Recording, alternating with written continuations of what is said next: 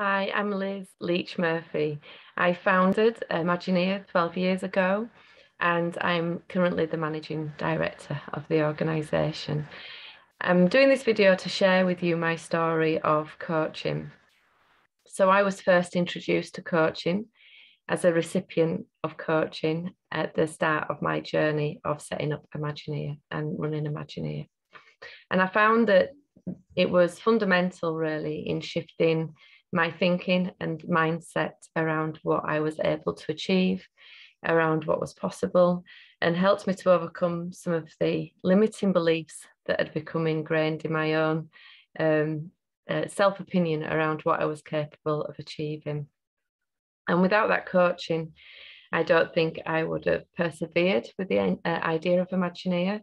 Um, I don't think I would have been as resilient at times when things have been setbacks and there's been challenges along the journey. Um, and coaching has been really fundamental in helping uh, myself and the organisation and everyone we work alongside to reach the outcomes that we've reached collectively.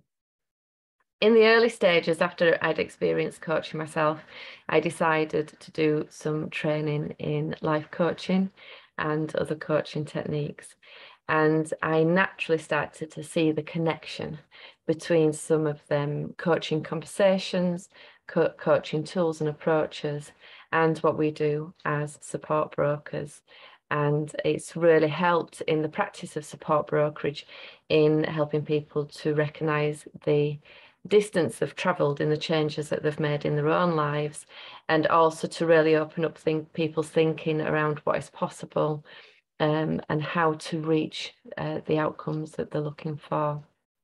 So as an organisation, we provide coaching and that is something that we can provide to individuals, family members, we can provide coaching to people that work within the sector of community and health and social care, whether that's people providing direct support, people at management levels or people at, at senior management levels as well. So um, this is part of what we do. And um, if you find yourself in a situation where you feel like you're, um, there's people or circumstances holding you back, there's barriers in the way of you achieving what you want to achieve, what you, you see as being your end goal, then we can effectively work alongside you to think about what your current circumstances are consider where you want to be in the future and um, work with you to start to identify some of the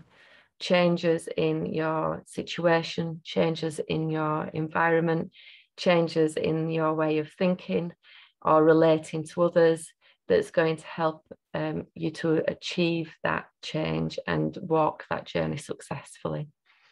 Um, it's very uh, centered around the individual and uh, the approach that we take is very much about listening and leaning into where you are and where you want to be. So if you are interested in um, the coaching that we offer and you would be um, interested in some sessions with us, please get in touch. Um, I'm currently doing this video from my new home.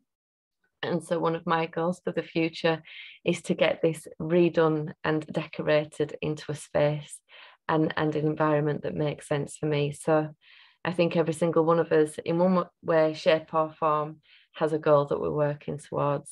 Um, so we look forward to hearing from you. Thank you.